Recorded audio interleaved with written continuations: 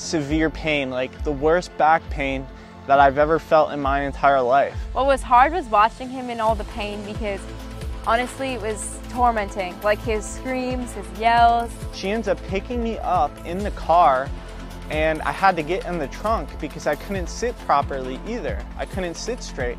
And so I was kind of just crooked and all messed up. He couldn't walk, he couldn't sit by himself, he couldn't do anything that you take for granted. He couldn't get dressed, he couldn't use the bathroom. So I scheduled a emergency chiropractic appointment or whatever. I was in the RV just hanging out and I was messing with some of my film equipment and I noticed that I had this pain in my lower back. And I didn't think anything of it at first, but literally 30 minutes later, we're in the house that's nearby, the RV, and all of a sudden it's just excruciating, like severe pain, like the worst back pain that I've ever felt in my entire life. And this title of this video is no joke. I was literally unable to walk for several days. And I was crawling everywhere. I couldn't stand up on my own two feet. And Gabby had to, you know, stick with me through it all, helping me get off the couch, helping me go to the bathroom and stuff. It was actually very humbling because in the moment I was just really angry. I'm like, why is this happening happening to me? God, why can't you just heal me and take away all the pain? And I was just angry, angry, angry. But then I realized like God used this for so many reasons. And so this pain was going on for several days. That first day was absolutely terrible. I remember we were in the house and the RV's kind of near the house, like walking distance. It doesn't take that long to get there, but when you're not able to walk, it feels like a long time. And so I had to get back to the RV, but I was unable to walk. And so I decided I'm going to crawl my way back to the RV. And Gabby was there to support me. And it was just terrible. It was like I, if I was watching like in another person's perspective, it's, it was traumatizing, like the, the pain. And like I was screaming and crying out to the Lord. I'm like, it was so bad. And so I couldn't make it to the RV. She ends up picking me up in the car and I had to get in the trunk because I couldn't sit properly either. I couldn't sit straight. And so I was kind of just crooked and all messed up. And she carries me in the RV and it was just it showed me a new perspective on love, especially in my marriage. Like I never seen my wife help me in this way yet because nothing like this ever happened to me. And so one of the things and it's very, you know, personal, but I got to tell you because it's a testimony is like my wife literally had to help me use the bathroom. Like I literally couldn't go number 1 and 2 by myself. I couldn't bend, so you know, she had to help me with that and the fact that she was so like comfortable and okay with that was it was just beautiful to see. It was beautiful to see that I couldn't do it on my own and it's like the same thing with the Lord. Sometimes we need to humble ourselves and realize that we need help. And I was like I was very prideful at first. I was like, "No, I don't want you helping me with this. This is weird. Like I don't I can't have my wife help me go number 2. That's so weird." And but she did and it was beautiful. And so she helped me with so many other things that I couldn't do. Like I couldn't get off the couch myself, I couldn't get out of bed myself, I couldn't just do certain things that people typically do. I, I literally lost my ability to walk. It's the craziest thing ever. And so and the next night comes and I'm feeling a little bit better. I'm starting to walk a little bit again, but I still need help. But that night came and it was it was the worst night of my entire life. Gabby and I got maybe one or two hours of sleep that night.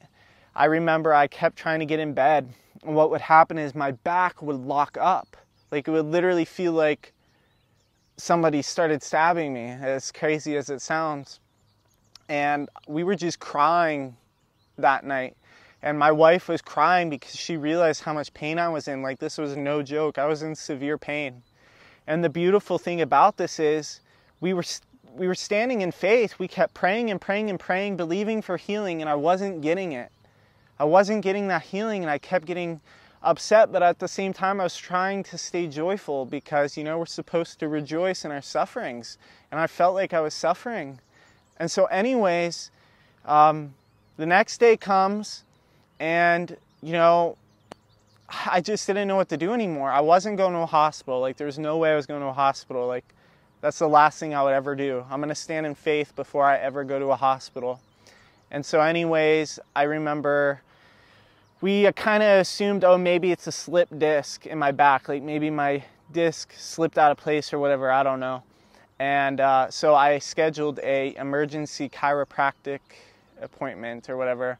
And so I go, and the guy basically tells me like you have a level two or level three sprain. And then he also said I had a strain, so I had two different things, which is confusing. But I didn't realize how bad it was, and basically I had to like I was I can't work for two weeks or whatever, and so financially that's you know that was a little scary for me and now I've just been resting. But the reason why I wanted to share this is there were so many things that I learned. Like, it taught me to be more still. I literally couldn't do anything. It taught me how beautiful my marriage was uh, to see my wife take care of me in such a way. Spiritually, it literally put me on my knees before the Lord, like I couldn't walk. And the, all before this happened, by the way, like before this whole experience happened, I remember saying to my parents, like, nothing truly bad has ever happened to me. I, I haven't experienced such a thing that makes me cry out to the Lord. Man, this made me cry out to the Lord so much. Like, I kept begging Him and begging Him and begging Him. And so it just taught me a lot. And uh, it was a really beautiful testimony. I'm still being healed right now, even sitting, like, there's still some pain and stuff.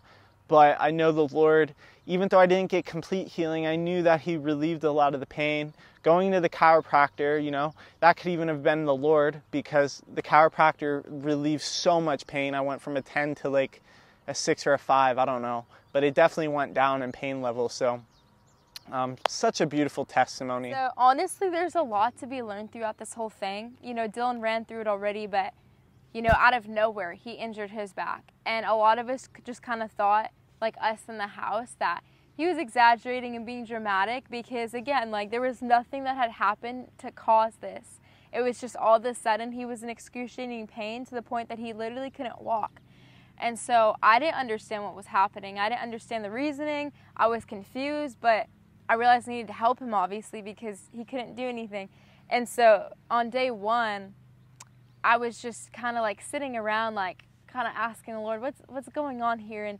Dylan literally spent the whole day. I think it started in the afternoon. Like, actually, no, I think it started at noontime, literally laying on his stomach and then like sitting on the couch. And we were icing him here and there. I didn't really know much about all of this and I didn't know what it was to treat it. And he wasn't sitting in the best posture at that point.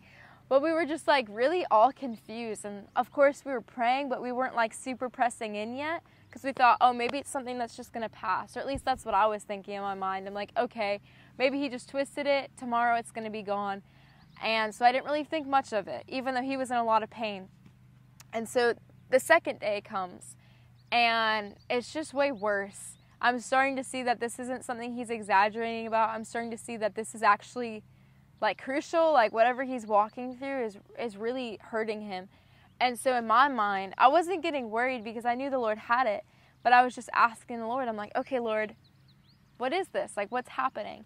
And so I was just doing my best to help him and like serve him because he, he literally couldn't do anything. Again, like, he couldn't walk, he couldn't sit by himself, he couldn't do anything that you take for granted, he couldn't get dressed, he couldn't use the bathroom.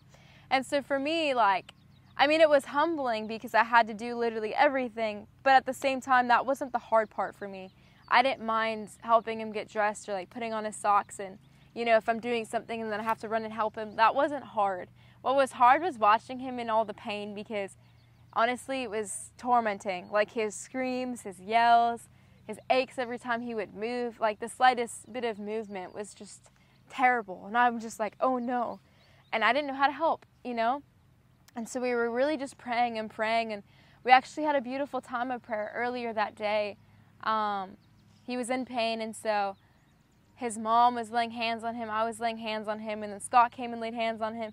We're all just praying over various things, not just the pain, but about deeper, deeper things. And then they were praying over our marriage, and I literally felt like Jesus. I mean, I know Jesus is always with us, and He lives within us. And where two or three are gathered, there He is in the midst. I felt like in that moment that Jesus was literally standing there. Like I felt this presence in this light And so that was so, so encouraging. But then we go back to the RV and like he was actually like walking there with me. Like I was helping him walk. So I'm like, oh, praise God, it's getting better now. I thought this is it. But we get there and it was just way worse. Like 10 times, 100 times worse. I don't even know. But, you know, he went to lay down. We went to go to bed and literally all night he was just crying in pain. He was screaming in pain. And it was just extremely hard. Like I was feeling very discouraged, but I knew that God had to show up. Like nothing could change my mind on that. I was just like, God, I know you're here, so why aren't you doing anything right now? And I was just, I was really questioning, like, what's happening? Like, how can we fix this? And we just went through a line of things. Like, we were commanding the pain to go, and then we were calling out certain things, and then he was repenting, I was repenting, we were crying together, which was a, actually a special moment. And just going through the list of things, trying to figure it out.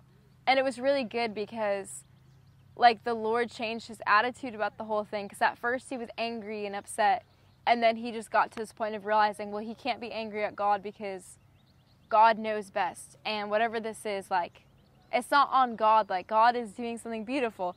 And so it was really really hard. That was honestly the worst night for me personally was to experience this. I felt tormented just watching the whole thing. And again yeah I just I broke down and I wanted to break down all throughout the night. But it wasn't until this very moment that I'm like, okay, I just, I, I can't do this either. Like, Lord, this is making me weak, like watching this and experiencing this. And so the next day happens. We don't really sleep. We might have dozed off for like an hour or two, but it wasn't in the bed, it was on the couch so he could actually sit up straight. And Dylan was still crying out. We were trying to stretch him out on the floor. We were trying to do whatever we could do for him, and it wasn't helping. And so we went to the chiropractor and I we just prayed. I said, "Okay, God, if you're going to bless this chiropractor and use this person to bring relief to Dylan, then have there be an appointment." And there was. Immediately we got in. And so that was definitely a blessing. And so we went there. Dylan got relief. They gave him a diagnosis that it was supposed to it's supposed to take 6 to 8 weeks to heal. Um, but we're not believing that. We're believing it's going to be faster. And I'm already seeing that because even the change in Dylan so far has been has been way quicker and a lot of the pain is gone and he's able to sit, he's able to sleep now, he's able to walk now, and it's just a lot easier. He's not 100% there yet, but we know God's using this and God's God actually used it even for our marriage to bring us closer because we both had to be humble. You know, he had to be humble to receive my help. I had to be humble to help him. And so it's been beautiful and I know God's still working things out and he's still going to teach us. And honestly, like, I don't understand everything. I, I know I know healing isn't always immediate by any means. I feel like more often than not, it takes time. And it's just something we have to endure and have faith without seeing. And so I don't understand every part of it, but I know God's in the midst and I know He's going to use this. And so that's my perspective.